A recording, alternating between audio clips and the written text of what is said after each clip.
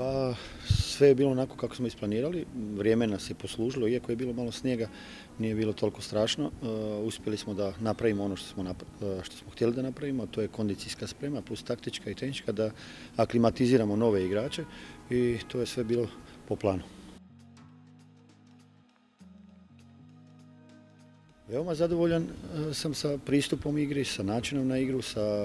time kako smo razvili igru prema naprijed, sa jednim e, zdravim presingom i presingom e, do, do nekih rezultata koji nisu interesantni za mene na pripremama. Nisam zadovoljan, ali najviše što me, što me ljuti to su individualne greške pa gotovo sve golove koje smo primili dobili smo iz individualnih grešaka. Ako to otklonimo, imamo, imamo vrlo, vrlo dobru ekipu i, i mislim da ćemo da napravimo odlične rezultate. Pa neko manje više, neko manje, neko, nekom treba malo više vremena da se aklimatizira, ali drago mi je da neki igrači su shvatili odmah kako to funkcionira. Cake je ostavio mnogo dobar dojam. E, e, Andre e, ima udarac u prvoj utakmici, tako da mu je bilo teško da, da poslije fata ritam. Buba znamo njegovu kvalitetu, pitanje je samo fizike kad će nadoknadi ono što je odsustvo toliko dugo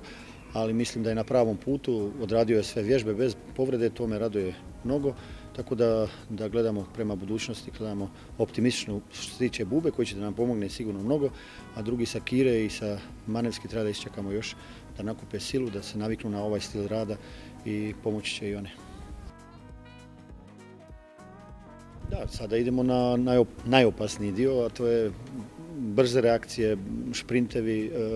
za igrače interesantnije igre 2 na 2, 3 na 3, e, tako da je to finalni dio koji treba da se završi ako Bog da ako bude sve ok bez povreda i e, tako ćemo da finaliziramo sve to i da startujemo u, u ovaj drugi dio sezone sa punom parom. Očekujemo da napravimo jednu furioznu polusezonu,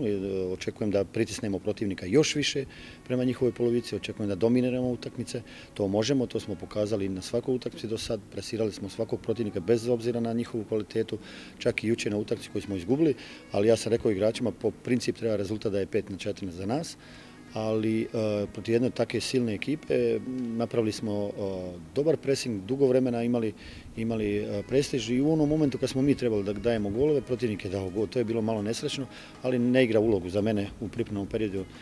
rezultat, niti kad smo pobjedili, niti sad kad smo izgubili, važno je da sam vidio ono što ja želim da vidim.